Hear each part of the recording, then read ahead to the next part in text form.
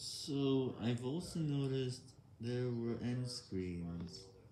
Because of this, I've added end screens to that video. Not only that, I decided to promote it again, but with the normal video link added with finally it's here, just to make them think it's finally here. Except this time, this is an older video, and it had about 1200 views before this, and this is to increase the amount of comments we can get, okay?